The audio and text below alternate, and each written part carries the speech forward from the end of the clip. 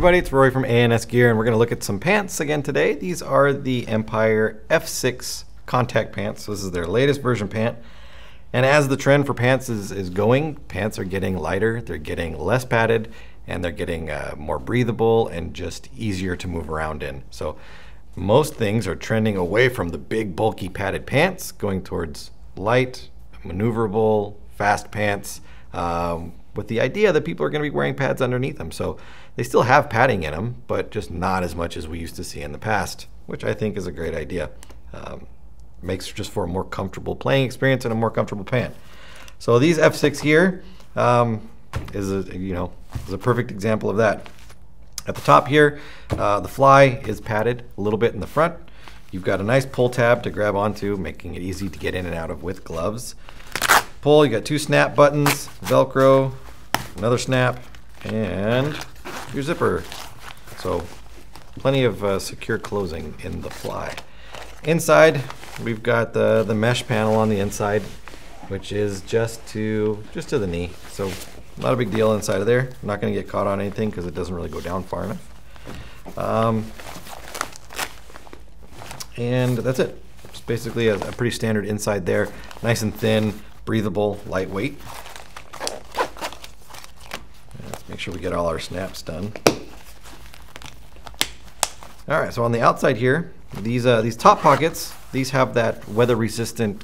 Uh, it's almost like a face to it right there. So when the zipper goes down, they come together and they keep they make a barrier to keep out the elements, whatever it may be, dirt, rain, mud, sand. Um, so it keeps whatever's inside there nice and protected.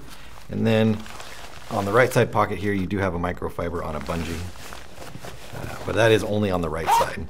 Another interesting little feature right here, if you can see, they made a little pocket down at the bottom for the zipper. So when you slide it down, the zipper actually tucks into a little pouch. So it's not just flopping around down there.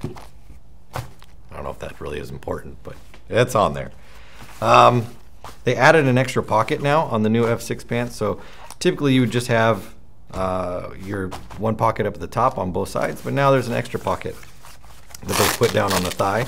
Again, a nice big pull tab to get into it with gloves, big Velcro strip that goes across right there. And then as you can see, the shape of the stitching right here is the size of the pocket. So uh, a thigh pocket, put whatever you want into. It's an easy access pocket with good closure on there. Now you can see all the holes in here, laser perforated, so they actually fire a laser at these and cut holes in them. Um, keeps the uh, air transfer going on. And because it's done with a laser, you're not going to get fraying because there's a hole in it. You're not going to get ripping or tearing. Uh, so pretty interesting. The, uh, the crotch, four-way stretch, that Cordura stretch right there. So uh, you're not going to pull the pants or blow the crotch out of any of them uh, when you're doing your super crazy dives and rolls. Uh, stretch zone again over the knees. Give that knee pad a little bit of movement so it doesn't just tear apart. Now we'll get down to the padding actually. Let me pull this up here.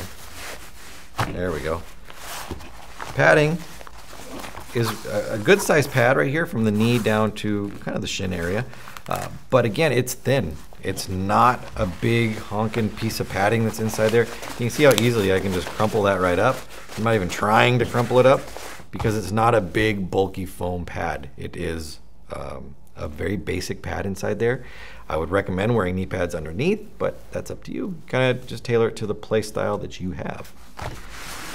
Moving down, more uh, laser cut holes, as well as a drawstring cuff for the ankle. Keeps your pants out of the mud, keeps you from ruining your pants and destroying your investments. Um, the back here, you see that you've got hip padding right here, so there's a little bit of foam padding on the sides to protect you when you're diving and sliding and from when you're getting shot. The back side has uh, the silicone printing, the name, and this kind of honeycomb pattern that's on here.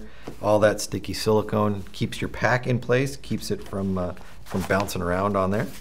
Uh, I didn't mention the belt. So the belt is adjustable on the sides. So we can unvelcro this, maybe. There we go.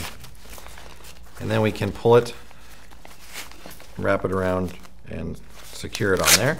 So you've got the Velcro all the way across the back, so it gives you plenty of uh, attachment points. But you've also got your own belt loops.